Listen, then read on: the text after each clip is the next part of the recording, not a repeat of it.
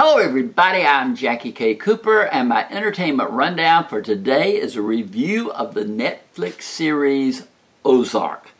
And it posted, they put up all the episodes. I watched all of the episodes.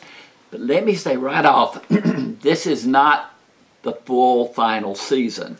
They have split the final season this year into two parts we get like the first seven episodes, and then later on this year, we'll get the concluding seven episodes.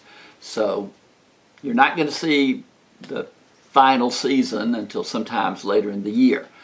But these seven episodes that they put up are just fantastic. If you've been following the series, then the tension about this couple who gets involved with the cartels and and drug trade and everything else and the risk and that, that come to them it's just gotten better and better and better. Jason Bateman and Laura Linney play the couple.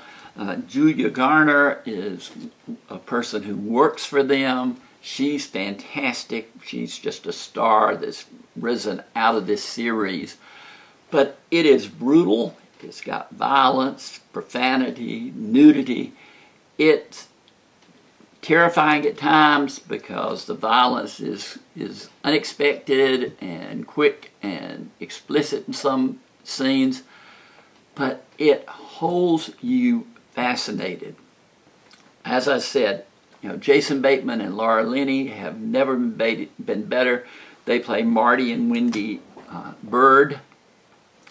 Laura Linney's Wendy character reminds me of Lady Macbeth. Uh, she's, you know, she is the power behind the throne of, of Jason Bateman. Just fantastic acting, just fantastic writing. Everything about it is top rate to me. It you know it's it's not something that you casually watch because it, it is so intense. Some people like that, some people don't like that. I scored this season, half season 8 out of 10. It's not rated. It's got all the things I said were in it, and it gets a score of 8 out of 10 from me. If you haven't watched it, boy, you can go back and watch you know the previous three seasons and have yourself a great time. But if you've been waiting for the new season of Ozark like I have been, this is a wonderful gift that you can sit down and just run right through those seven episodes. But this has been Jackie K. Cooper's Entertainment Rundown with a review of the series Ozark.